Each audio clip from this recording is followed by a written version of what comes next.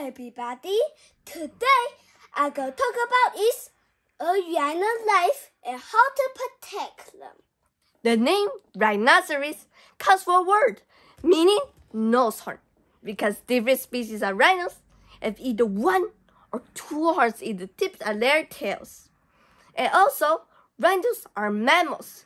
That's because they have fur even in their ears and their tips of their tails. Rhinos are also herbivores. That means they like to eat grass, from leaves to trees and leaves.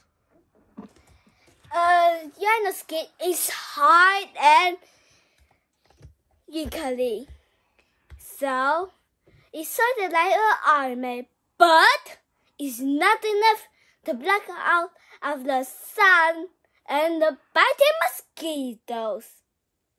So, rhinos will wallow in mud. And the more the better.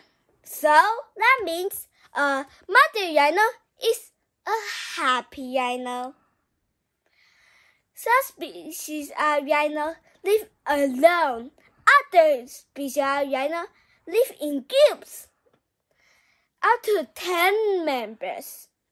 So, a group of a group of a group of rhinos is called a crush. Though an adult rhino doesn't have any natural predators of its own, some aggressive males might attack humans or some moms with babies.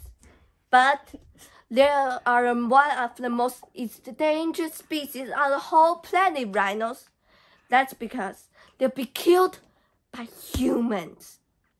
Humans believe that the horn of a rhino has medical properties, and they're willing to pay so much money for a single rhino horn.